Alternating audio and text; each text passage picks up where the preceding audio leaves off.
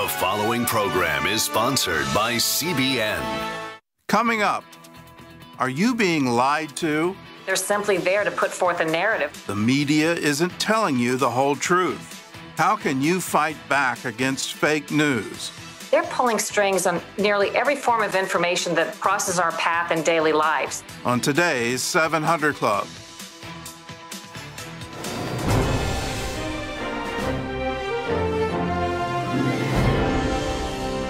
Well, welcome to the 700 Club and Merry Christmas to all.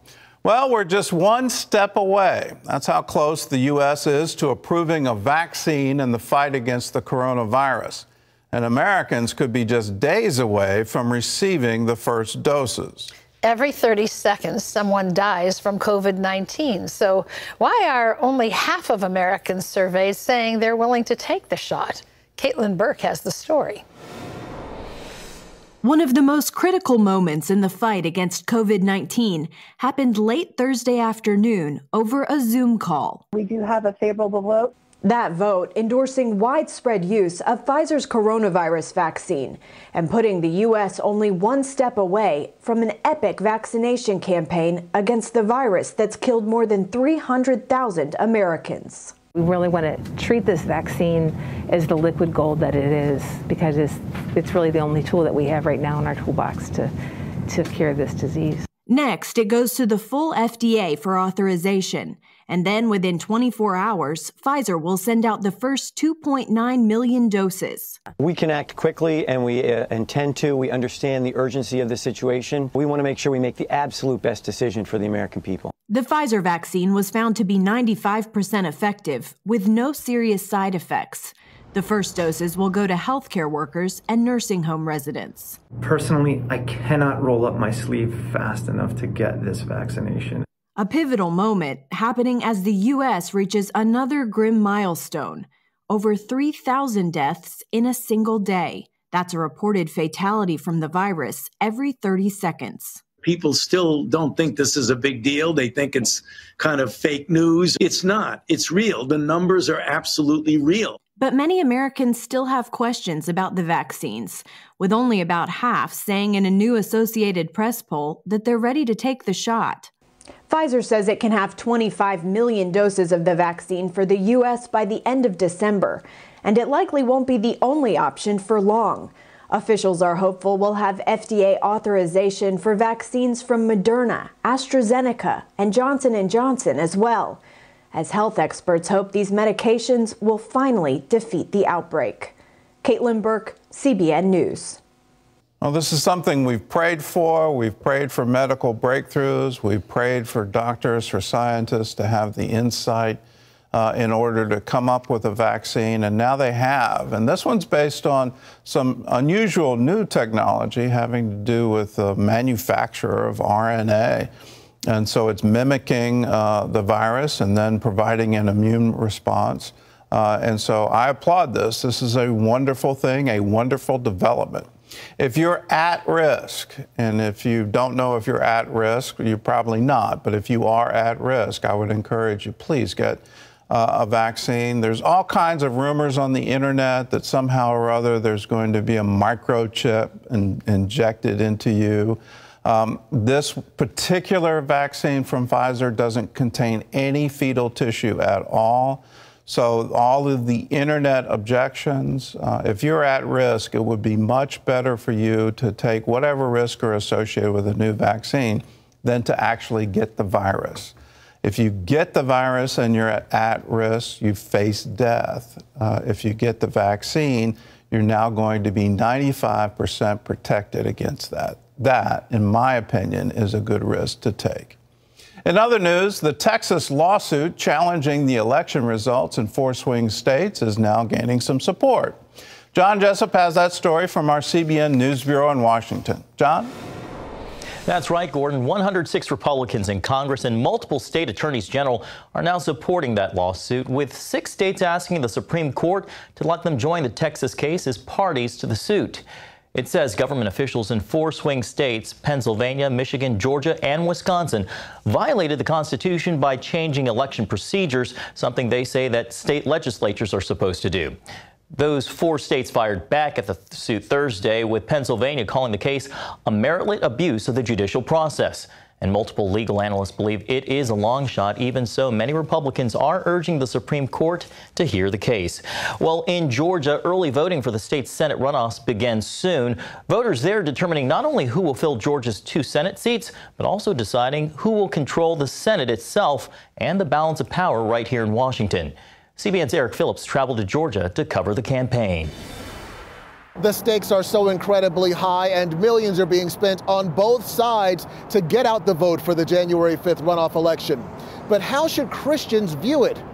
There are differing perspectives, even within the body of Christ. It's very important because unless something changes, we're staring down the barrel of a Joe Biden presidency. I think for believers, it means everything. I think we have to make sure that our voting is rooted in the values of the gospel. No matter who you ask, the consensus is the Senate runoff election in Georgia is pivotal, especially for Christians. Ralph Reed heads the conservative Atlanta based Faith and Freedom Coalition. He says Christians are called by God for such a time as this. And He has placed us in the United States right now, at this hour, to be faithful witnesses to His glory and his goodness. Reed says he wants to use the massive voting strength of evangelicals to tip the scales in favor of Republican Senators Kelly Loeffler and David Perdue because of what's at stake if the other side wins, including Israel's sovereignty. Massive tax increases to gut the Religious Freedom Restoration Act, which protects our First Amendment right to freedom of religion. Raphael Warnock uh, is pro abortion.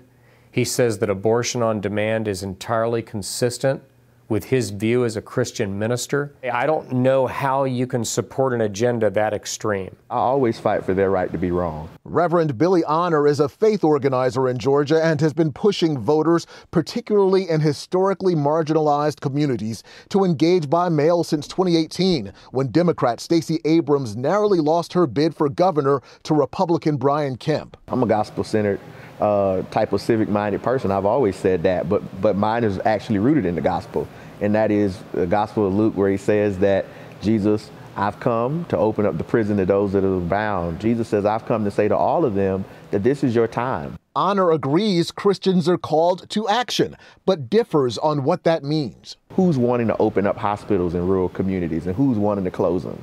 Right? Who's wanting to expand access to health care and who's wanting to reduce it, right? Who's wanting to expand access to unemployment insurance during this time of pandemic and who wants to foreclose on it. He says all people of faith, even Christians, won't vote the same way, a point Reed acknowledges as well. But both are working hard to make sure believers get to the polls.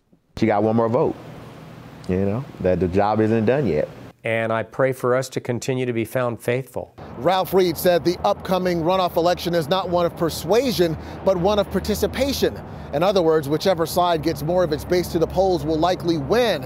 And no matter how you slice it, Christians make up a crucial part of the voting bloc. In Atlanta, Georgia, Eric Phillips, CBN News. All right, thank you, Eric. Well, turning overseas, Morocco is the latest Arab country to agree to normalize diplomatic relations with Israel. President Trump making that announcement yesterday. The North African country becomes the fourth Arab nation in four months to make the move, all as a part of Trump's, uh, the Trump administration's Abraham Accords. The White House says the agreement will expand economic and cultural cooperation and advance stability in the region. Well, since the signing of the Abraham Accords between Israel and Arab nations, many have speculated Saudi Arabia might follow suit. But as CBN Middle East Bureau Chief Chris Mitchell reports from Jerusalem, there are other factors at play. Just this past week, a Saudi prince unexpectedly blasted Israel during a security conference in Bahrain, in a session ironically titled New Security Partnerships in the Middle East. They profess that they want to be friends with Saudi Arabia. And yet, all Israeli governments are the last of the Western colonizing powers of the Middle East. From the time of the Balfour Declaration, they have forcibly evicted the inhabitants of Palestine after the 1948 war Israeli Foreign Minister Gabi Ashkenazi spoke by video after the prince. I would like to express my regret on the comments of the Saudi representative, the foreign minister. I don't believe that uh, they reflect the spirit and the changes uh, taking place in the Middle East. The real question then is does that say that the whole kingdom of Saudi Arabia has an attitude problem, or does it say that this guy has an attitude problem? Former Israeli UN Ambassador Dore Gold also attended that conference, witnessing the prince's accusations. I think he was being used by the highest authorities in Saudi Arabia to put some distance between us and them. Gold tells CBN News the attitude toward Israelis appeared very warm, except for the prince. Gold believes Saudi Arabia could still come around, mainly because they have a common enemy. I think it's the Iranian factor which gave birth to the Israeli Arab peace process as we know it today. Danny Danon, another former UN ambassador, tells CBN News he believes the Saudis will eventually join the Abraham Accords. They are the most important one for the region, for Israel, and they understand that once they will normalize the relations with Israel, we will see much more stability in the region and it will be a, a major force to block the hostility coming from Iran. Gold points to Washington as being the major part of this puzzle. And what happens next? If they hear from Washington, we like the Abraham Accords, we want more treaties between Israel and its neighbors, great. Gold says while the Trump administration has improved the connection between Saudi Arabia and Israel, which led to opening its airspace to Israeli planes, it could all change if a Biden administration were to take a different approach. If, on the other hand, they uh, don't acknowledge that, they say, no, you want to improve the Middle East environment, you know, give the Palestinians more money and make the Palestinians the center of everything, that will not move us very far along. Chris Mitchell, CBN News, Jerusalem. Thanks, Chris. Gordon, how much does the prince's comments pour cold water on the warming relations with Israel?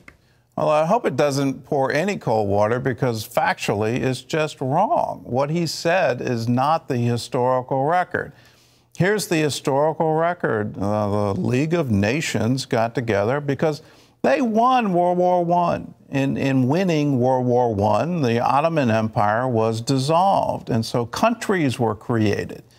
Iraq was created, Saudi Arabia was created, uh, Syria, Lebanon, and the Palestinians were put into a special British mandate. In that mandate, the League of Nations at the San Remo conference said we need to establish a Jewish homeland and a Jewish state in the former lands owned by the Ottoman Empire. And that was the whole purpose of the British mandate. The Palestinians, the, uh, it's a mistake to call them that because they didn't even call themselves that way back in the 1920s. They were Arabs. They were ethnic Arabs who had been brought in by uh, the Ottomans uh, to work their land, and they didn't own the land, the Ottomans did. Uh, so the, the, they steadfastly resisted a Jewish state and did so for pure reasons of anti Semitism. To say that they were forcibly evicted is again an historical lie. When the British, when the, the Israeli state was announced in 1948, the Arab nations surrounding Israel all declared war against her, and they said to the Arab inhabitants, please evacuate because we don't want you to be a casualty in the war. When we win the war, you can move back. So to say it's a forcible eviction is, again, it's not part of the historical record at all. Uh, I'm really getting tired of the revisionist history. We also see the same revisionist history in President Obama's memoirs, where he's talking about a British occupation. It wasn't a British occupation at all. This was all established by international law. It was all established by the League of Nations and the UN specifically when it was formed after another World War, World War II. It adopted all of the policies of the League of Nations. So this is established international law. Israel has a right to exist, and it's high time for all the neighboring states to recognize that right. Now, we've got something that's happened under the um, current administration, under, under the Trump administration. It's a radical move We're no longer going to focus solely on the Palestinian problem. We're going to go around it. And we're going to establish peace with each individual state and create a, a new bloc and a new alliance within the Middle East. It's an absolute brilliant stroke. Under uh, Secretary of State John Kerry, he said, no, you can't do that. You can't have individual peace. You have to first solve the Palestinian problem. Well, when you look at the world that way, you, you uh, end up with an insolvable problem because the Palestinians never want to solve the problem. They don't want a two state solution. They do not want peace. And this has been the reality for 100 years now. Let's wake up to the reality. They want to drive Israel into the sea. They teach their children that. They reward people who kill Jews. Uh, they reward them based on the severity of the sentence that they receive in Israel for acts of terror. When you look at it from this point of view, our foreign policy on this has been absolutely nuts and has been that way for decades. It's so refreshing to find someone that says, no, this isn't the way anymore. And by all means, the American taxpayer isn't going to pay for this. And so we're going to stop paying the Palestinian Authority and we're going to stop paying UNRWA. Well, elections have consequences. And here's some consequences that we should be looking at. Number one, Biden has already said he's going to reinstitute payments to the Palestinian Authority and to UNRWA. Uh, I, I, find that absolutely unbelievable. Legally, he's going to have a problem because of the Taylor Force Act and because of another terrorism act that was passed in 2018. So he's going to face legal challenges to this because if any of the money goes to those terrorists, he's got a big problem. Here's the second problem. Uh, he's been encouraged to reactivate uh, the Iranian treaty on its current uh, level with no renegotiation. Uh, I find this absolutely incredible that we would try to bring this back up after it's so plain that they're trying to develop a nuclear weapon and they were using that treaty as a cover for it. Uh, this is incredible. For, for Iran to get a nuclear weapon is unbelievable, uh, completely destabilizing to the region. And that's one of the keys to the Abraham Accords. It's trying to create an alliance against Iran and Iran's aggression, which has been evident. Uh, they launched drone attacks against the uh, refineries in Saudi Arabia. They've used proxies against our own troops in Iraq. They have been funding Hamas and other terror groups for decades. Uh, they are the number one state sponsor of terrorism in the world today. Now, here's something that just happened. Rep Representative Gregory Meeks, he's the incoming head chair of the House of Representatives Foreign Affairs Committee. This man has real power. He wrote a letter to Biden saying, please reinstitute the Iranian treaty without any renegotiation. I find it incredible that a congressman with that kind of authority and that kind of information would write that letter. But that's what we're facing. That's what we're looking at. I hope the Biden administration, I hope the incoming Secretary of State, I hope they all wake up to this and say uh, uh, nuclear Iran is a, is a non starter for us. Let's go forward with the Abraham Accords. Let's not make the Palestinian Authority the deciding issue in the Middle East. Let's create coalitions to come against what is a quite clearly uh, an aggressive power using terrorism, using drones. If they get nuclear weapons, the game's over. Terry? Well, still ahead, stabbing pain in his side. This man had a cyst on his kidney. See how he was supernaturally healed in an instant. And up next, media malpractice, and it may have cost President Trump the election. How has fake news distorted reality? And can we stop it? One insider reveals the answers after this.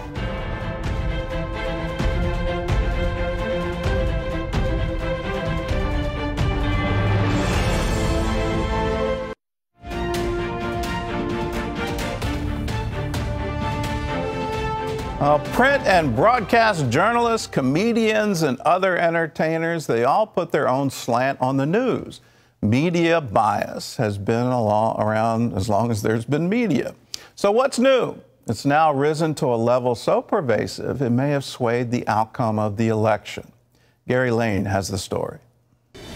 In this era of fake news and social media censorship, Americans are showing little trust in mainstream media. A Gallup poll taken just prior to the election found that only 9% of those questioned trust the media a great deal. One third, 33%, said they don't trust the media at all. Sharyl Attkisson is a veteran journalist, former CBS investigative reporter, and host of the Sunday morning program Full Measure. Her new book is Slanted How the News Media Taught Us to Love Censorship and Hate Journalism. They're simply there to put forth a narrative. They're not acting as news as we once knew it or as journalists as we traditionally understood them to be. They're simply trying to forward certain political or corporate interests. Research psychologist Dr. Robert Epstein believes Google helped shift a minimum of 6 million votes in the 2020 election. The former Psychology Today editor in chief says the big tech giant did it by manipulating search results to favor Democrats. Attkisson believes big media influenced the election outcome by playing what she calls the substitution game. When you know that but for the name being changed to a different party, something would be handled entirely differently. You know that there's a narrative at play or there's somebody trying to manipulate an outcome or public opinion. And I like to ask the question when it comes to the election how would it have been covered if not for the narrative? How would this have been covered if journalists had, had approached this from a neutral standpoint? And I think you have a whole different landscape if that had been the case, both building up to this election and what's happened since. Conservatives argue that Donald Trump's presidency would have proceeded differently had the media not obsessed over Russian campaign collusion. Robert Mueller's two year, $32 million investigation put the allegations to rest. But few journalists offered apologies or corrections for false reporting. This was all mission accomplished on their part. They were not trying to disseminate the actual facts, they were trying to create this air of controversy and chaos for the couple of years that they did. And when it didn't turn out to be true in the end, as perhaps some of them knew all along, they still had accomplished their goal, in my view. Also, journalists who challenge the dominant media narrative are often ostracized or censored by big tech media. The New York Times labeled Attkisson and others coronavirus doubters for their initial reporting of the COVID 19 virus. Who knows why they decided to pull certain people out and try to controversialize them so people wouldn't listen to our reporting? I only knew it was completely false. Had to hire a lawyer because the New York Times would not take down the false information. And we finally forced corrections that, of course, probably almost nobody saw.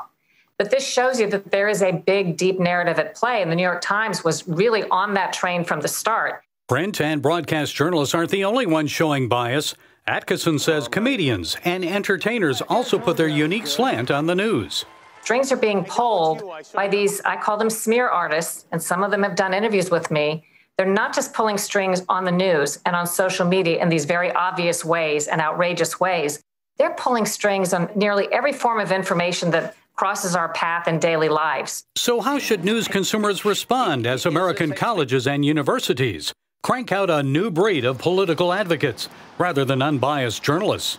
Whether it's news about COVID 19, an uncertain election, or other issues, Attkisson says people need to reject biased reporting and the stigma that comes from expressing alternate views.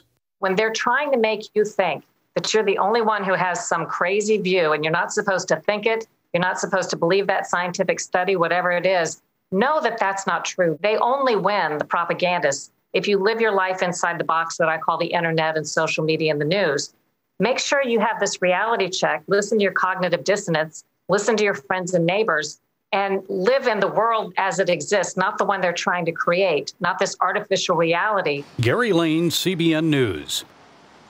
Well, the name of the book is Slanted How the News Media Taught Us to Love Censorship and Hate Journalism and you can buy it wherever books are sold. And let me underline if you want to get away from fake news, get the CBN News app. It's available where you can have a 24 hour news channel on your television if you have a Roku or Apple TV or Smart TV or Amazon Fire. There's a bunch of different ways.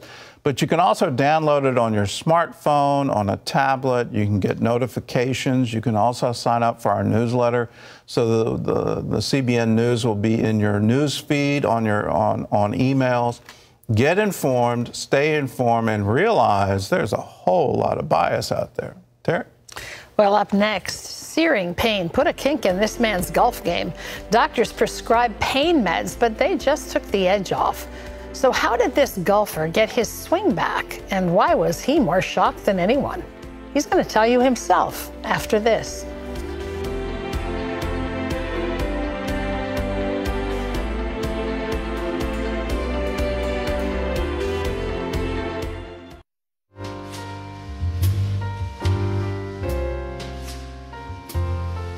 A stabbing pain on his right side. That's what Joe felt every time he bent down or twisted, and it totally spoiled his golf game and some other things in his life.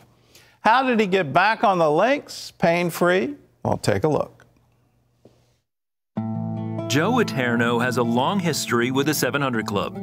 It started back in 1976 when he prayed for salvation with Pat Robertson. As I completed the prayer, uh, it was like a lightning bolt went through my body. It was like as if I stuck my finger into a electric socket. I still didn't know what to do with my life. God just brought people into my life as I needed them to, to keep, it, keep me on the path. Joe grew in his faith over the years. Pat Robertson's teachings and the 700 Club were a great source of encouragement to him. I tune in daily to watch the 700 Club.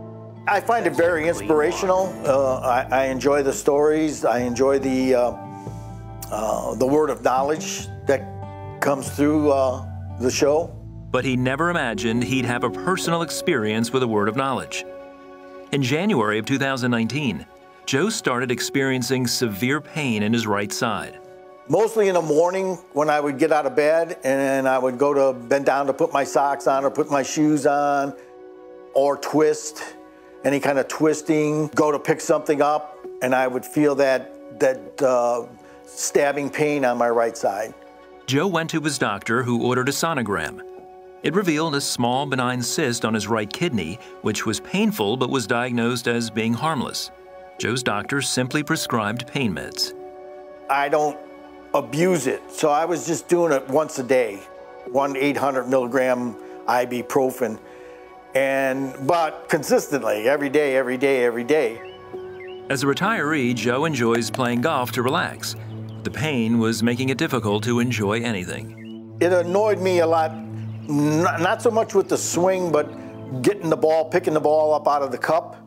Uh, any kind of bending in the in the midsection area, uh, I would feel that that pain. He thought about praying for healing, but felt the pain was just part of getting old.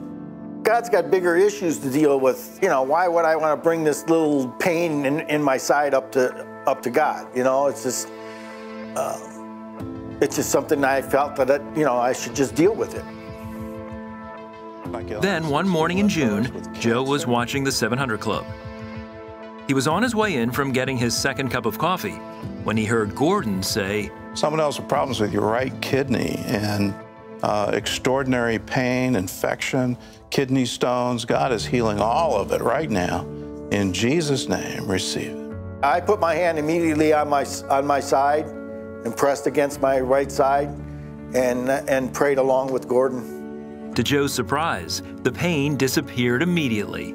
I was in awe when this happened because you're, you're used to watching the 700 Club and you see it happen to somebody else. But until it happens to you, it, it just strengthens your, your faith. It's like this really this really can be done. God get, God's working in my life. He's there. He's listening. He hears me. He knows about me. There's just no doubt in my mind, you know, that God is awesome. Today, he is back having fun on the links and loves sharing his miracle with others who need healing in their lives. That's the unconditional love that God has for you. You're his child. He wants you to have a good life. He wants you to enjoy your time here. And I, I don't believe God wants you to suffer. God doesn't want you to suffer. He doesn't. He wants you to be in health. He wants your, your everything concerning you to prosper just as your soul prospers. That is His will. When you get it, when you understand it, wonderful things start to happen. Now, for Joe, he's sitting there thinking, well, God's got other things to do. You know, God's not concerned about me. Well, Joe's wrong. God's very concerned. And if you think that, hear me clearly, you're wrong. He is infinitely concerned about you. He loves you so much that he was willing to die for you. The whole purpose of creation, everything, is for you. Isn't that amazing? The one who laid out the heavens and spoke everything into being, as he's doing it, he's thinking about you. He's actively planning for you. He is creating good things for you to walk into. He's creating things that will satisfy the desire of your soul. He provided salvation for you before you ever sinned.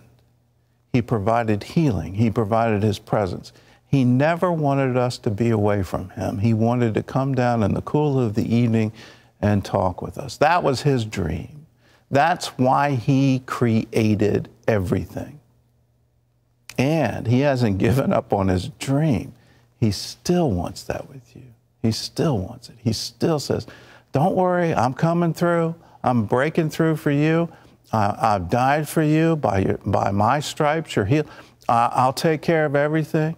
I'll give you a new heart, a new body, a new life, a new spirit. I'll do it all for you. Isn't that wonderful? That's good news.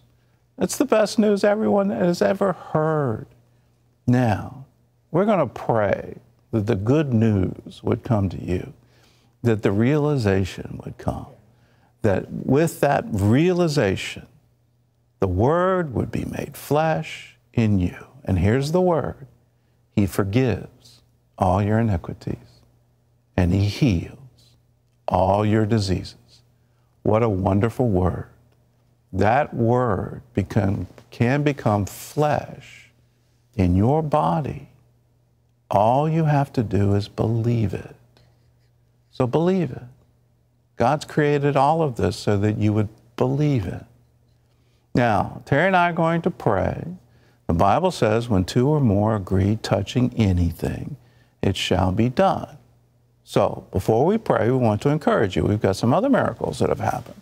Here's Chris. He wrote in and said, For years I had a lot of pain over my entire body every night. Many times I couldn't sleep because of it. My entire body would hurt, especially when I got up in the night or in the morning. I was watching the 700 Club, Terry calling out several healings.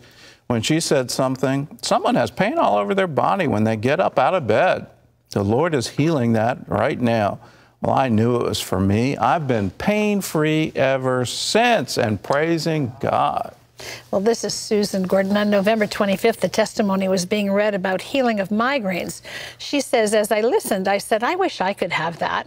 I was on my fourth day of pounding in my head, burning and pain in my neck.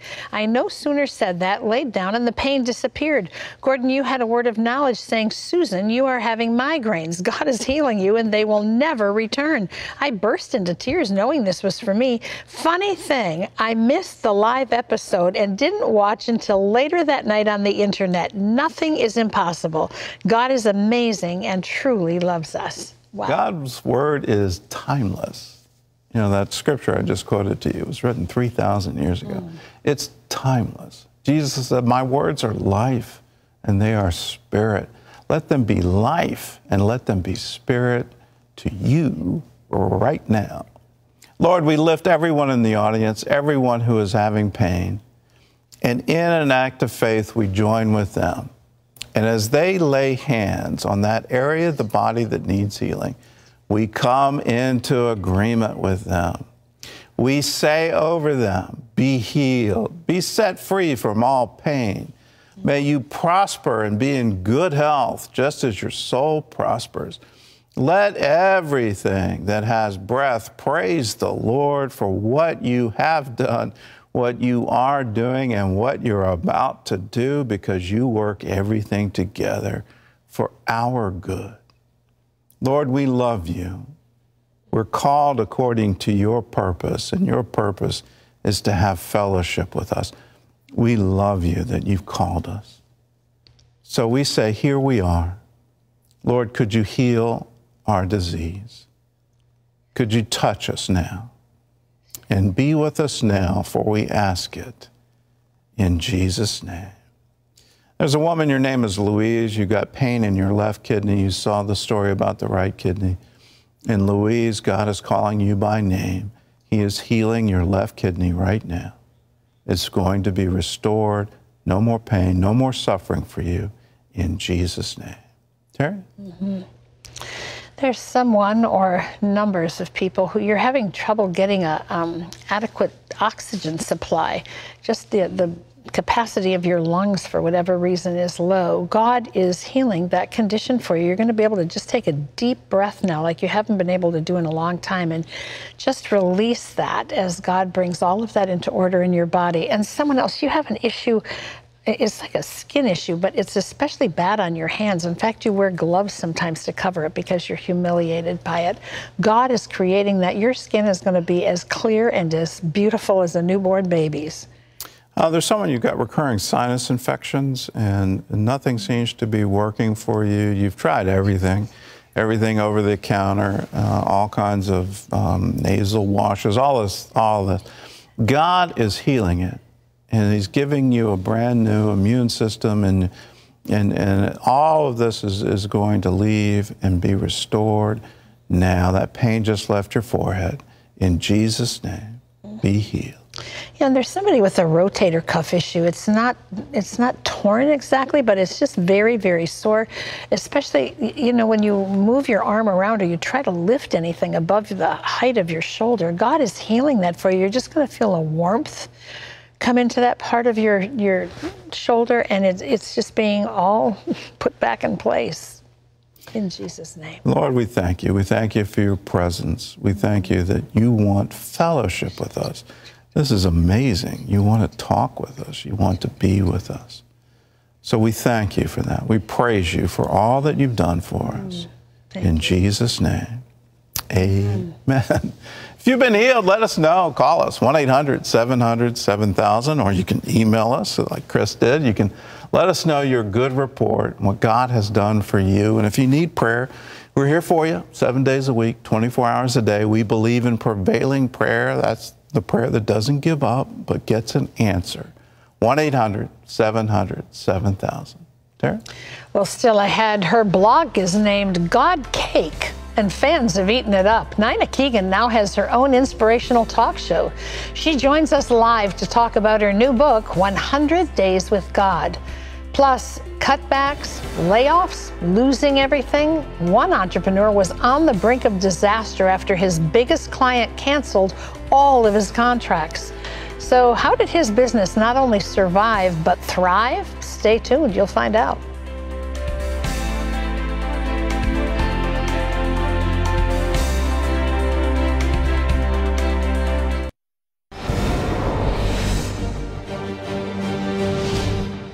Welcome back to Washington for the CBN News Break. Seven U.S. Air Force basic trainees marched into history, becoming the first enlisted members of the United States Space Force. The trainees graduated at Joint Base San Antonio Lackland and will transfer to an Air Force base in California to begin their training for their new positions, learning how to operate satellites and radio stations. Well, CBN's Operation Blessing is providing essential food for those in need during the COVID pandemic. Leah, an elderly widow in Kenya, cares for her four grandchildren all by herself. The odd job she worked to earn money for food disappeared when the COVID lockdowns came, leaving her empty handed. With tears rolling down her cheeks, she told Operation Blessing staff, I cry every time I have nothing to give to these children. They completely depend on me to provide their food, yet I am old and weak. Things looked hopeless, but thanks to its partners, Operation Blessing provided an entire month's worth of food she was, of course, overjoyed, saying it means a lot to me because my grandchildren will have food to eat. Well, you can find out more about Operation Blessing by visiting ob.org. Gordon and Terry will be back with more of today's 700 Club right after this.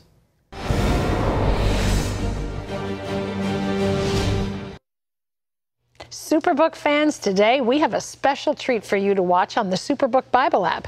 It's Ask Gizmo, a 15 minute question and answer session with Superbook's lovable robot, Gizmo. Just open the Superbook Bible app on your phone or your tablet and click on the videos section to watch Ask Gizmo.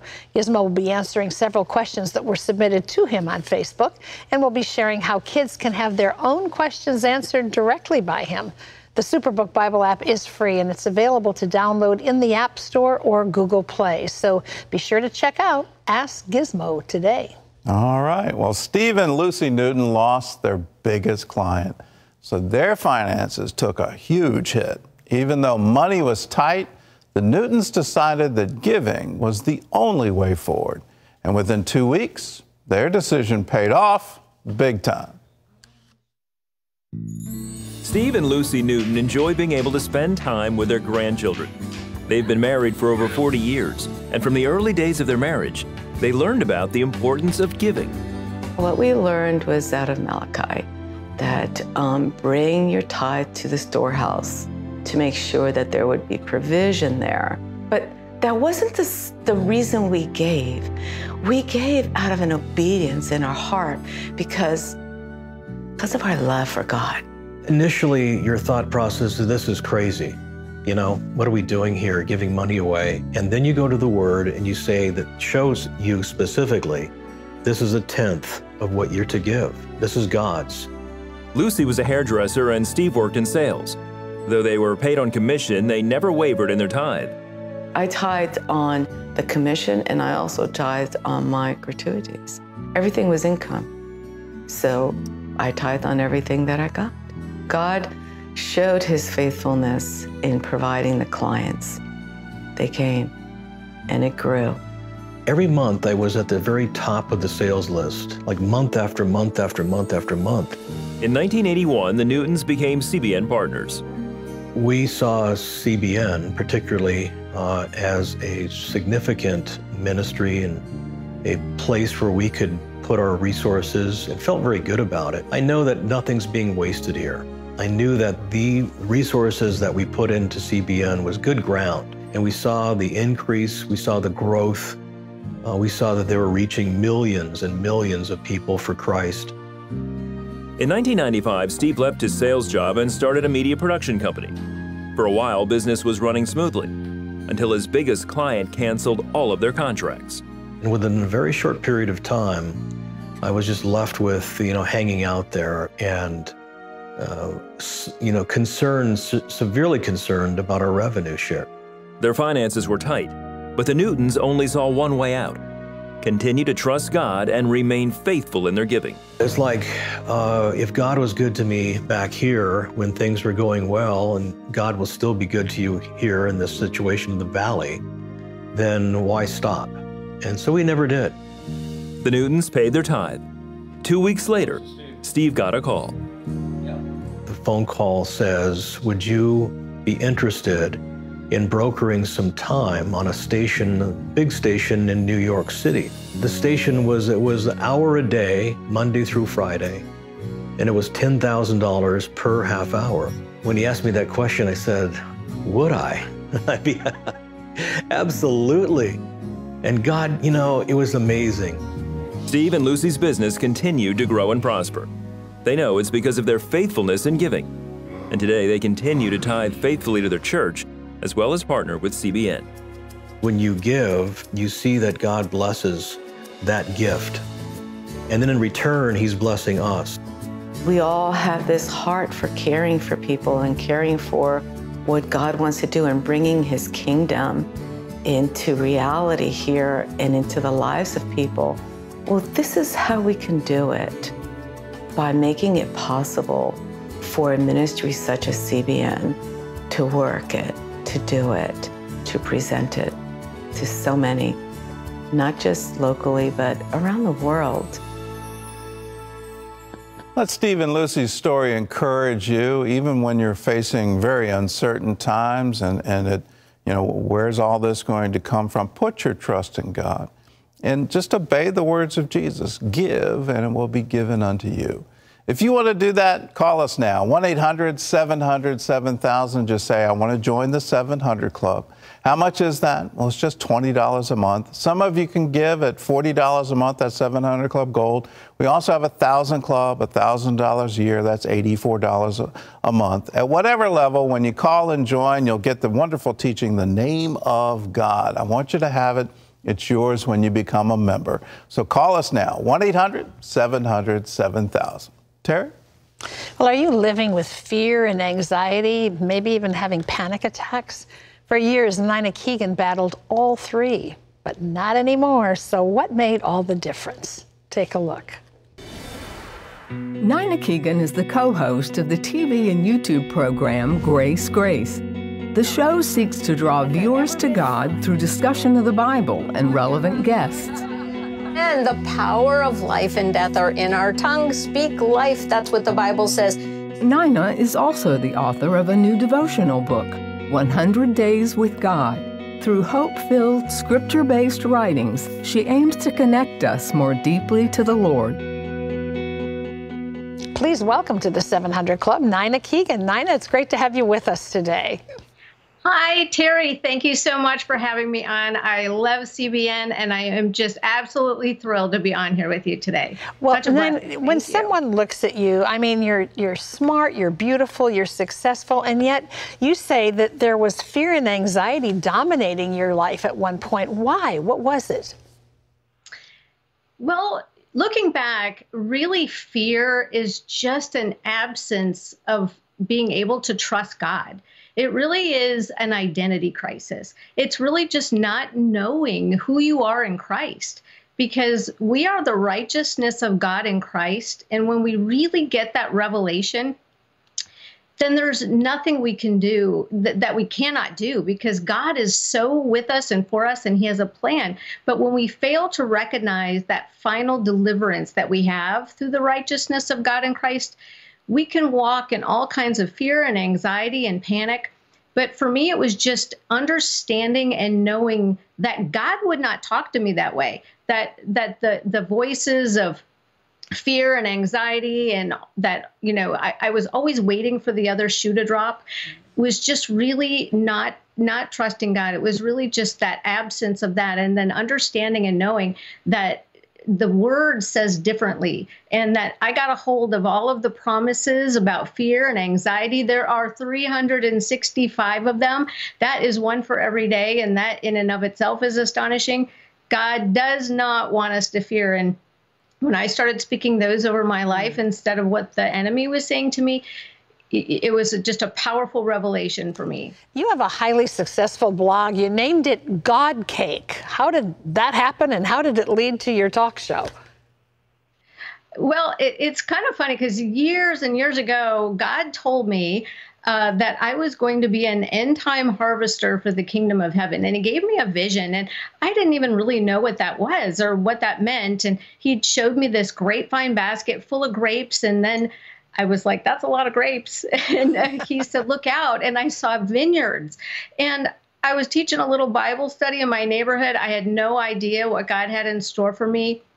But I was running one day and I felt like the Lord told me I needed to write a blog, which made zero sense because I had never even read a blog. So I was totally out of my comfort zone, but I knew that wasn't my notion. That is nothing I would have ever come up with on my own. And when he gave me the name God Cake, um, and it made me just kind of laugh because, you know, God was feeding the Israelites manna from heaven, but he really just wants to give us cake he wants to give us everything good and sweet and kind. And, you know, sometimes we're just scraping by, and mm-hmm. He really just wants to give us all that He has for us. And when we just amen God, just say yes. You can do things that you never even dreamed or imagined because new, it's really about Him. Your new book is called 100 Days with God. Want to be sure we get that in. You've been starting your day with God for a long time. How has that changed your life? Oh, it's everything. You know, when we just give God our ear in the morning and we ask Him to order our steps for the day, the day just goes so much better than we could ever ask or imagine. It's really just about seeking Him first and asking Him what He has in store for the day and that he would direct and order every steps and just protect and guide us and lead us through the day so it's it's really about just devoting that morning time that first first time of the day with him. You know, we live in a time where pe people are feeling anxious, they're feeling concern. One of your favorite devotionals is called Happiness is a Choice. Talk about that. Well, I believe that, you know, it's like a glass is half full, half empty kind of thing. I believe we get to choose. You know, you know, you might not have the best or the happiest day every day, but there's going to be something happy in that day. If you can pick one thing, even that you just had a good lunch that day, if you could just focus and redirect your attention on the good and find that happiness because you know, the joy of the Lord is our strength. And we can become unhappy, but we can't become unjoyed because that comes from God. And so, you know, we we we need that. We need that for strength. And so it really is just like you're going to make a decision that you're going to be happy no matter what the circumstances are around you. You cast your cares and let him do the heavy lifting. That's just one of the nuggets, friends, that you will find in Nina's devotional called 100 Days with God. We could all use encouragement during these tough times, so get a copy for yourself. It makes a great Christmas gift, but it's wonderful to start your day with every day. Nina, thank you. Great to have you here. By the way, it's available so much. wherever books are sold. Merry Christmas, Nina. Merry Christmas. God bless you, Terry. You too. Here's a word from Isaiah. So do not fear, for I am with you. Do not be dismayed, for I am your God. I will strengthen you and help you. I will uphold you with my righteous right hand. God bless you. We'll see you again next week.